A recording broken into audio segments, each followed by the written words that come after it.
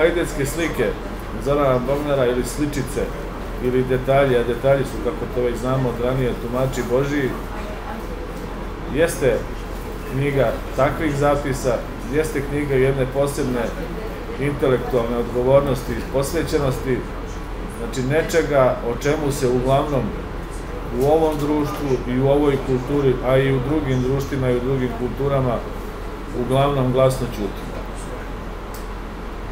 Naravno, u ovoj knjizi ima tekstova koji zaista afirmativno govore o nekim pojavama i o nekim ljudima, međutim, e, to nije manje istinito i ova knjiga nije knjiga malicioznih polemika. Ova knjiga je pre svega dnevnih, dnevnik dugih godina, dnevnih zapisa koji nisu verovatno u nekakvim početnim fazama imali ambiciju da budu objavljeni, pa čak ni ambiciju da možda prerastu u nešto veće, znate, kao zapis, kao nekakva sentenca od koje možete da kasnije nekakvom kasnijom imaginacijom i kreativnošću satvorite pesmu, priču ili roman. Ova knjiga u stvari i svi zapisi u njoj, mikroeseji u njoj, ti detalji, tumači Boži, jesu u stvari mera stvari.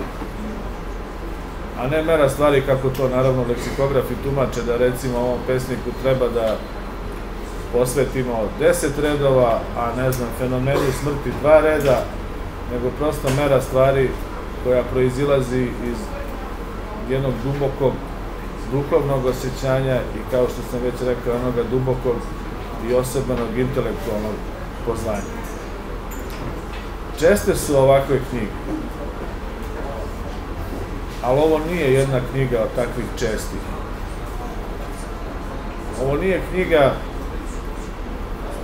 pisca koji smatra da sve što napiše je genijalno, pa samim tim to sve treba i da bude objavljeno.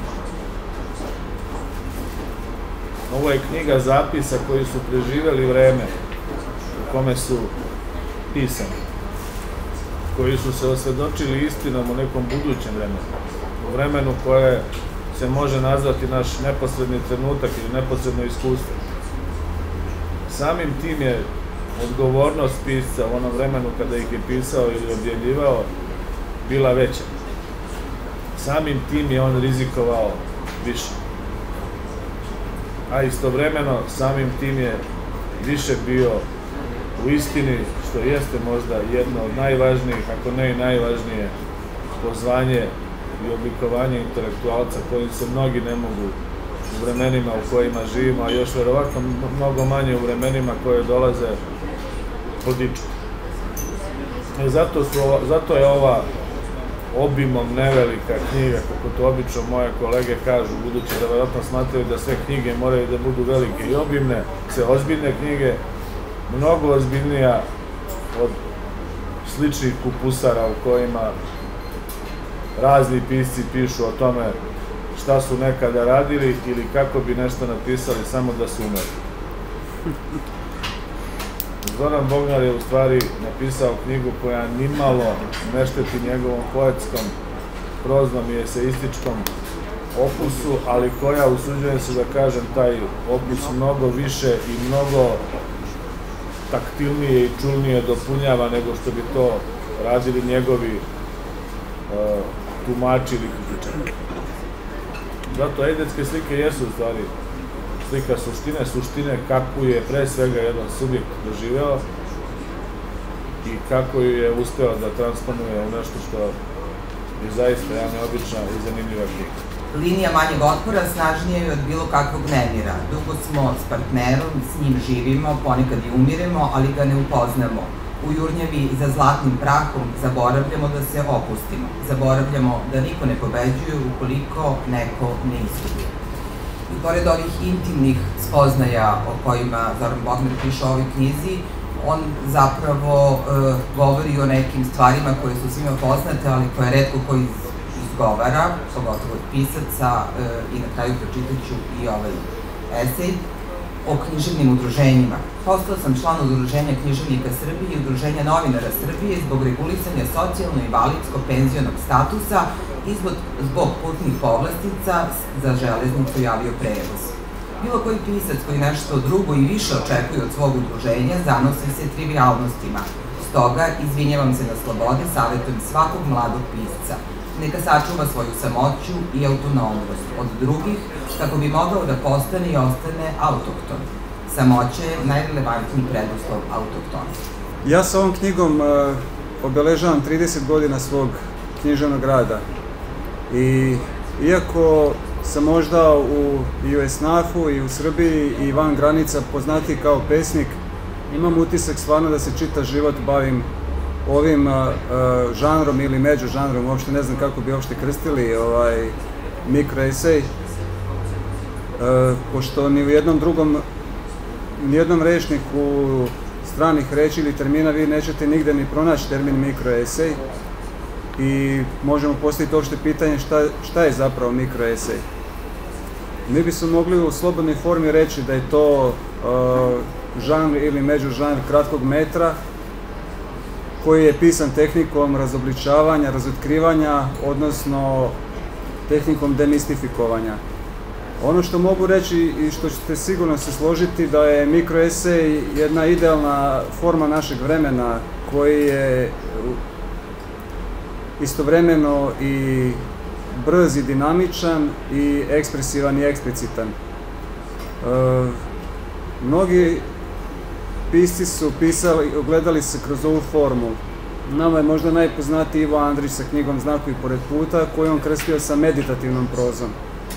Uz Petra i još nekoliko dragih kolega, ovaj, bio mi je dosta skraćen put. Ja u principu i mislim da ovako jednu knjigu je trebalo raditi jedan, jedan tim, ovaj, ali je ideja bila toliko originalna.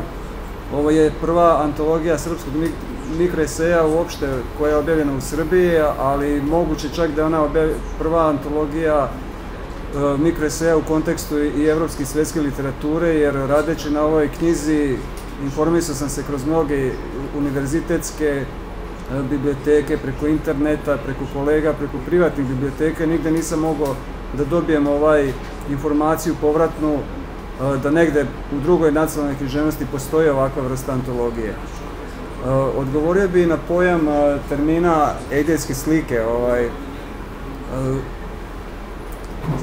eidetizam, to je latinska reč, koristi se u medicini, ali eidetska slika je ona slika koja vam se često vraća. One su oštre, precizne, kako je Gordana rekla, možda i suštinske, ali slike ko, koje vas stalno provociraju, koje vam se stalno vraćaju, o kojima razmišljate i na kraju, evo, kao i ja, možda i propišete.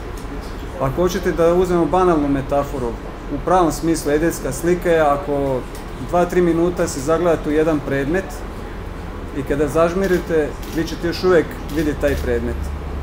Znači, iako su vam oči zatvorene. E sad ovde je preneseno u jednom širem kontekstu i to su mislim evo onako u jednom srećnom i verovatno ispretnom ovaj terminu dobro naslovljene ove ova moja promišljanja, ove moje reminiscencije bez kojih mislim da bi ne kažem nemoguće, ali mislim da bi bilo dosta teže tumačiti bilo koji drugi žanr kojim se se bavio, od poezije, proze, ovo nisu knjige po kojima će možda jedan pisac ostati i reći da je to najvažnija knjiga u njihovom stvaralaštvu. Dakle, to nije knjiga stup nosač, ali su, to je jedna jako, jako bitna knjiga za svakog pisca a, kroz koje se on ogleda, jer ja sam uvijek govorio da je čita svet sazdan na postamentu refleksije, da se mi svi ogledamo ili jedni u drugima, ili kroz neke knjige, ili kroz prethodnike, ili kroz neke pojmove, stanja, tako, tako i su i nastale ove knjige i one zaista ovaj pomažu da bi se mogla tumačiti integralna poetika jednog pisa.